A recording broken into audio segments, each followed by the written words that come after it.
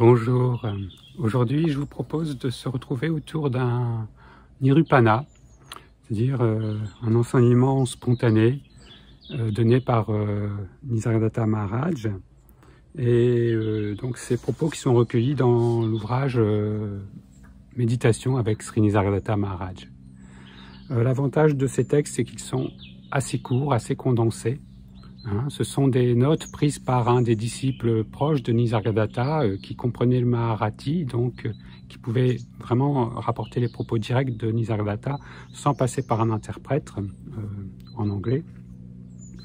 ce disciple s'appelle Dinkar Kirshagar, donc c'est à lui qu'on doit ce recueil de notes. Il les avait pris au départ pour lui personnellement, voilà, au cours des satsangs, et suite à un échange avec Nisargadatta, Nisargadatta l'a vivement euh, encouragé à, continuer à prendre ses notes et à, les développer vraiment pour qu'elles puissent ensuite être transmises et, donc nous être transmises aussi. Voilà. Donc, euh, si vous, lisez cet ouvrage, vous verrez que dans, on va dire jusque dans les 30 premiers Nirupana, ils sont assez condensés, assez courts, parce qu'en fait, c'était vraiment des notes personnelles et qu'ensuite, voilà, il y, a, il, y a, il y a, on y trouve un certain développement. Mais les deux aspects sont vraiment intéressants. Donc je vous propose de cette lecture du Nirupana et de surtout de toujours le, faire dans cette dynamique des trois aspects, c'est-à-dire déjà la lecture, l'écoute, ensuite une invitation à, à l'introspection, hein, Atma Vichara, et ensuite, eh bien, vraiment de, voilà, de ne pas séparer euh, la compréhension de, sa mise en, pratique, si on peut dire, mais c'est même pas une pratique, de, voilà, de sa manifestation, hein, de ce qu'on appelle vraiment la, réalisation de ses enseignements. Voilà. Donc un enseignement qui a été donné le 27 novembre 1977. Les activités quotidiennes ont pour seul objet le divertissement de la conscience. Là, on retrouve déjà dans cette simple petite phrase une, une, évocation fréquente de Nisargadatta, de voir vraiment la conscience comme ce, voilà, ce, pourrait dire ce, ce divertissement. J'aime employer cette, cette, phrase aussi de, reflet de temps et d'espace hein, de, de, notre notre aspect de conscience universelle. La qualité du fruit est liée à la qualité de la graine. Aussi est-il important de porter attention aux bonnes choses. Voilà. Hein. Sur quoi portons-nous notre attention? Qu'est-ce que nous nourrissons dans tous les aspects de notre quotidien? Ce qui est vu est le reflet de la propre conscience de celui qui voit. Ce qui perçoit, vous, en tant que conscience, et le perçu, l'univers manifesté, ne sont pas différents, ils sont un et uniques. Vraiment cet aspect de la premier, de la non-dualité. Ce à travers quoi l'espace est créé est en nous, cette conscience, bien sûr. Le mental n'a ni naissance ni mort. Le mental signifie le discours, les pensées. Souvent, on a tendance à objectifier ce mental, en faire quelque chose de concret, parce que aussi nous nous identifions à ce mental. Et là, Nisargadatta nous invite à, ne le voir que comme un, flot de pensées, mais à qui appartiennent ces pensées? Où prennent euh, naissance ces pensées avant que nous nous identifions à une pensée particulière? Et que nous revendiquions euh, voilà sa, justesse ou sa vérité. Le verbe vient de l'espace. Le mental est formé du verbe et votre comportement est directement lié à votre mental.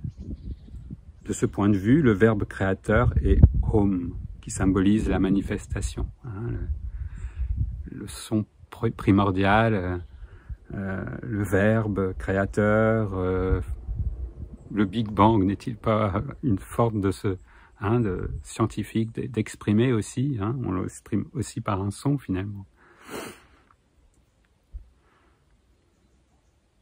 En fait, vous n'êtes pas celui qui fait.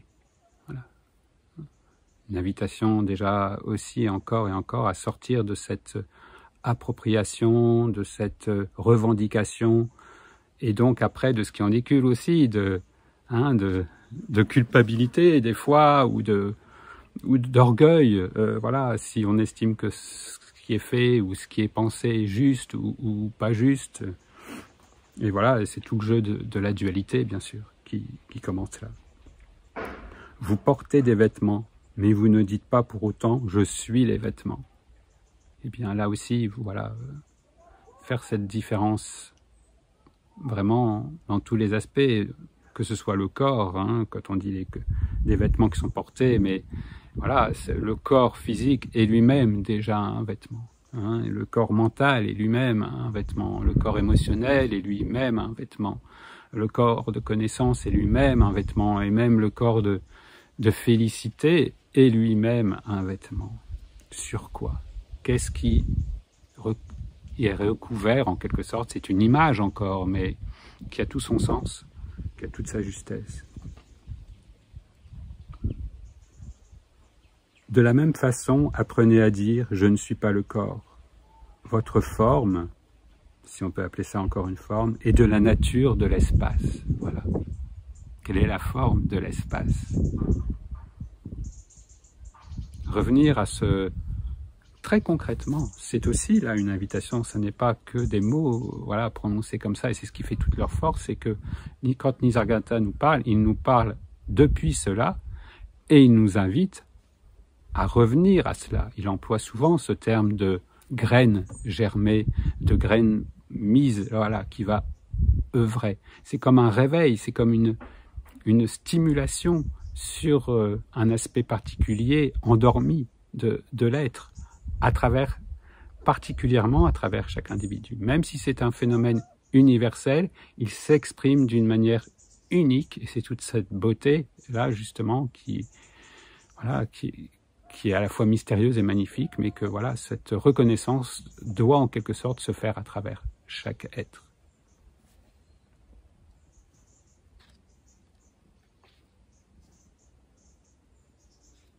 Quand nous nous réveillons le matin, c'est la conscience originelle qui apparaît en premier, juste un ressenti de notre existence.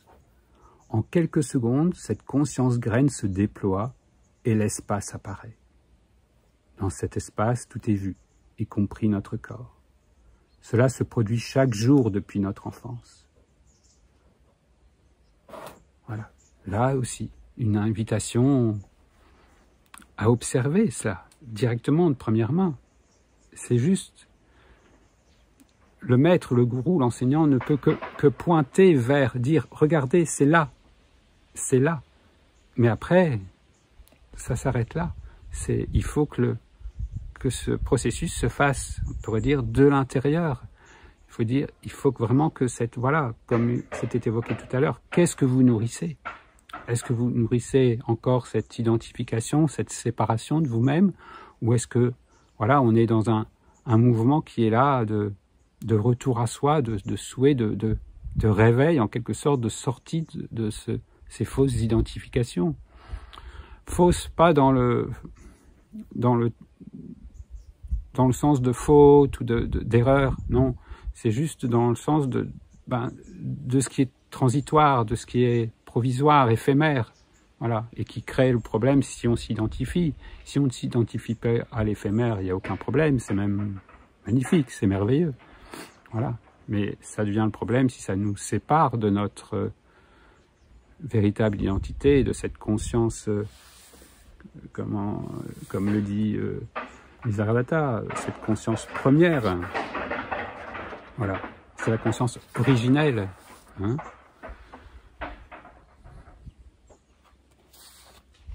Et ça, voilà, tous les matins, c'est une occasion. C'est merveilleux. C'est merveilleux. C'est pas attendre un grand événement, euh, que le ciel s'ouvre, que les, les anges euh, descendent du ciel et que voilà hein, qu'un orchestre céleste vous voilà, vous transporte. Non, tous les matins. Et on dit tous les matins parce que là, c'est il y a une disponibilité bien particulière, mais c'est finalement à chaque instant ensuite.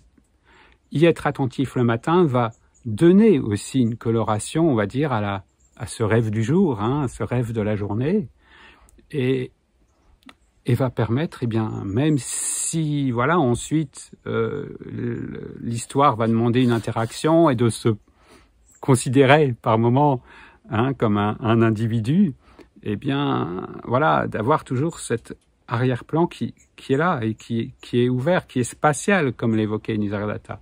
La spatialité, elle n'est pas là un moment et pas là un moment. La spatialité, elle est là avant. C'est la première expression. Donc, si elle n'est pas là, euh, le reste ne peut pas venir. Donc, c'est pas une invitation à créer quelque chose euh, qui peut être atteint ou autre. Non, c'est revenir, voilà, à qu'est-ce qui est avant? Comme le peintre qui commence par sa grande toile blanche hein, et qui ensuite va rajouter des couleurs, des formes, eh bien, euh, la toile ne disparaît pas pour autant. Elle est toujours là. S'il n'y avait pas la toile, il n'y aurait pas le, le, décor. Eh bien là, voilà, c'est cette même invitation à revenir, on va dire, dans le décor de notre manifestation, revenir à, voilà, à ce qui est là déjà. Voilà. Parce que cette toile, en fait, bah voilà, on voit aussi qu'elle est toujours changeante. Elle va même créer, euh, voilà, une histoire, un corps, des, pensées. Mais, mais ça, c'est transitoire. Et c'était cette toile qui est magique, on pourrait dire, un peu comme un écran d'ordinateur, où voilà, on, on enlève, on efface et on recommence, et ça recommence, et ça, voilà, et ça revient. Et, cycle, voilà, naturellement se fait de cette façon-là. Et si cet avant tout est contacté, ce qui ne se transforme pas, ce qui ne change pas est contacté, eh bien, ça peut être vécu, voilà, en toute tranquillité. Quand on parle de ce Satchit Ananda, ça n'est pas quelque chose de, de, miraculeux, c'est le fondement. Voilà, cette présence dans laquelle apparaît cette conscience première, cette matrice de manifestation. Et dans cette voilà, dans ce processus premier où il n'y a même pas encore de d'identification, eh bien c'est la félicité qui est la félicité dans le sens de ce bonheur sans cause, de ce cet état naturel qui est là, félicité qui veut dire plénitude aussi et qui veut dire même si ce mot est souvent voilà usé à tort et à travers, mais aussi amour, c'est-à-dire sentiment de cette unité qui se reconnaît en toute chose, mais qui n'a même pas à se reconnaître, qui est toute chose. Voilà. Voilà ce à quoi nous invite Nisargadatta. Et il poursuit, Depuis lors, nous nous sommes identifiés à notre corps. Cette impression si profondément ancrée ne peut être rejetée sans la guidance d'un gourou éveillé, c'est-à-dire de celui qui a voilà, parcouru ce chemin, qui s'est questionné, hein, qui a reconnu sa véritable identité, parce qu'il va pouvoir pointer vers notre propre originelle identité. Voilà, c'est pour cela. Ce n'est pas un pouvoir non plus surnaturel qu'il a, c'est qu'il a parcouru le chemin. Donc se fier à celui, celle mais finalement c'est la forme que nous prenons nous-mêmes pour nous, voilà, faire de cet écran d'espace et de temps quelque chose qui pouvait nous, nous perdre, eh bien non, ça va être aussi justement là sa vraie dimension, de nous permettre de nous reconnaître. Voilà, en nous disant, regarde là, regarde, regarde, pointe vers, observe, ne te laisse pas distraire, mais prends, fais bon usage de cette manifestation et de cette conscience manifestée pour, pour t'y reconnaître. Et qu'est-ce qu'évidemment euh, va nous dire le, gourou, l'enseignant? Il va nous, il va nous, nous inviter à, à prendre conscience que oui, je ne suis pas le corps, je suis la conscience dans ce corps, je suis ce qui donne forme. Hein, c'est pas non plus une conscience enfermée dans le corps, mais c'est ce qui anime et c'est ce qui est finalement le principe de ce corps, de cette manifestation. Voilà, tout est cette manifestation, cette conscience en mouvement. Toute manifestation est cette conscience en, mouvement. Cette conscience est première, ce n'est pas le corps qui est premier, ce n'est pas la matière qui est première. Et ça, c'est un renversement total de notre vision du monde, et en tout cas de la vision du monde la plus couramment admise. Mais même aujourd'hui, les scientifiques qui étudient euh, la structure même de, l'atome et qui vont au cœur de l'atome, eh bien, pour beaucoup, se rendent à cette évidence que oui, non, on ne trouve pas de matière, bien au contraire, et on trouve ben, ce que l'on peut appeler la conscience, c'est-à-dire ce, ce champ d'énergie euh, créateur. Voilà, la conscience dans son aspect de manifestation. Voilà donc vraiment une invitation à, enquêter par soi-même, à faire conscience. Nisargadatta nous le répète sans cesse, faire confiance évidemment à ses propos. Sinon, je dirais même de toute façon, l'un ne va pas sans l'autre, puisque ça veut dire que sinon vous n'êtes pas intéressé, vous n'auriez même pas déjà écouté euh, hein, deux minutes de cette vidéo ou de tout autre texte ou de tout autre enseignement. Bien sûr, s'il y a cet appel à écouter, à se renseigner, c'est parce que déjà la conscience à travers vous, en vous, est dans cette phase de retour à elle-même et de reconnaissance. Si c'était encore dans cette phase d'oubli, eh bien voilà, vous seriez complètement perdu dans, le monde et, la question ne se poserait même pas. C'est ça qui est tout simple en même temps, c'est que si la question ne se pose pas, c'est pour ça que ça ne sert à rien d'aller ennuyer euh, les êtres qui, qui ont besoin d'être complètement identifiés. Euh, voilà, et dans l'histoire, c'est le moment pour eux. Ils ont un ticket de, hein, de pour euh, voilà aller euh, au spectacle et vous allez vouloir les, les ennuyer. Euh, voilà, et les sortir de leur spectacle alors qu'ils n'en ont pas envie. C'est ridicule. Il faut, ça sert à rien de, de vouloir euh, défoncer des portes fermées. Ouvrons déjà notre propre porte si elle est encore fermée. Voilà, occupons-nous de cela. Voilà, si nous avons ce sentiment d'être enfermés dans cette identification, eh bien, voilà, sortons, sortons, ouvrons la porte, ouvrons les fenêtres, pour voir que finalement, voilà, il ne s'agit que de portes et de fenêtres, on pourrait dire, virtuelles. Mais il faut faire la démarche pour s'en rendre compte. Ça n'est faisant cette démarche que l'on se rend compte. Croire, euh, raconter simplement, dire ah oui c'est voilà c'est un monde de rêve, c'est une illusion, ne suffit pas si vous avez ce sentiment profond d'être enfermé. Il faut faire la démarche et c'est toute la beauté de la voie directe. C'est qu'elle va euh, voilà euh, faire comme si effectivement c'était bien réel, vous inviter à la démarche, mais pour que vous puissiez le constater par vous-même, que nous puissions tous le constater par nous-mêmes. Voilà. Et c'est voilà, c'est cette beauté, je trouve, de cet aspect particulier de, particulier de l'Advaita, hein, qui, qui se met au niveau de, chacun là où il est. Et c'est ce qui peut des fois aussi créer à la fois en même temps une confusion, parce que le, le propos est adapté à un niveau particulier et n'est pas valable pour tout le monde. Donc c'est aussi à développer cette, cette clarté, cette lucidité pour, pour voir de, à qui s'adresse Nisargadatta. Voilà.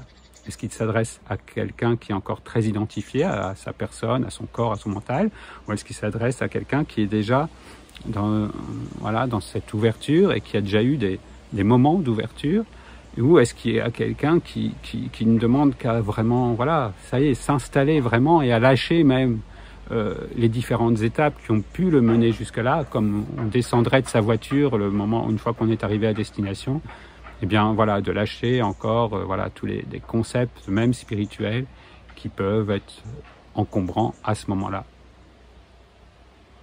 Voilà, c'est de cette manière-là que je vous invite vraiment à lire euh, Nirupana et que si cette petite expérience se poursuit, de, de, les présenter de cette façon-là, eh bien, nous puissions, euh, puissions le faire pour les rendre euh, vraiment, vraiment laisser les, les graines que Nisargadatta sème, eh bien, germer, être euh, vivantes, en prendre soin, et ensuite, eh bien, vraiment, voilà, porter tous leurs fruits, c'est-à-dire mener vraiment à cette réalisation j'allais dire en chaque instant, mais c'était encore une image, c'est maintenant, c'est là, l'instant. Il n'y a qu'un seul instant quand on est libéré de cette illusion du, du temps et, et d'espace. Voilà. Bien à vous et belle introspection et belle découverte de votre véritable nature. Bien à vous, en unité d'être.